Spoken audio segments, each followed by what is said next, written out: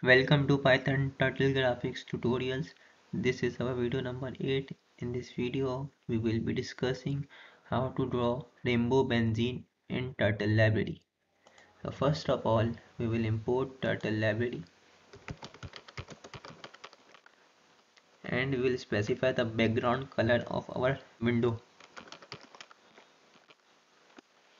It is black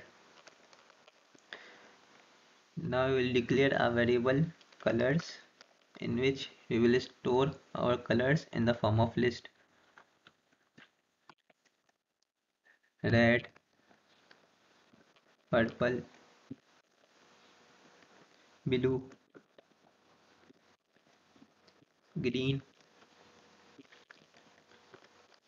orange and yellow.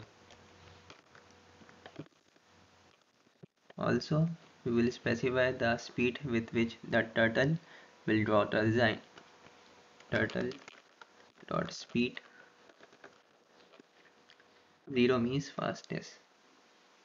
Now we will create a for loop for i in range 280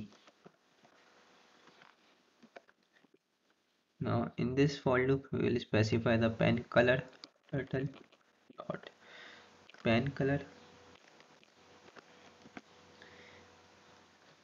Now here every color will be called one at a time.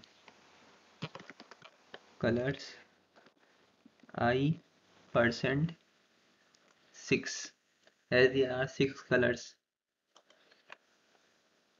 We will also specify the pen size. As you can see there as the for loop is increasing the pen size is also increasing. So we will add turtle dot pen size.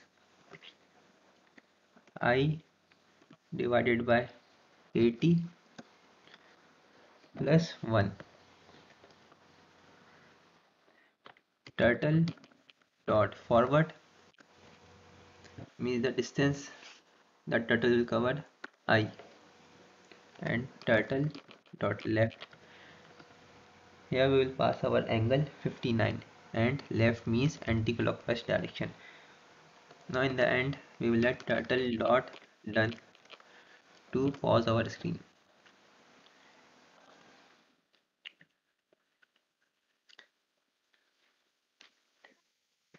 So our rainbow benzene has been created very easily using turtle library. Thank you for watching this video. Do like and subscribe my channel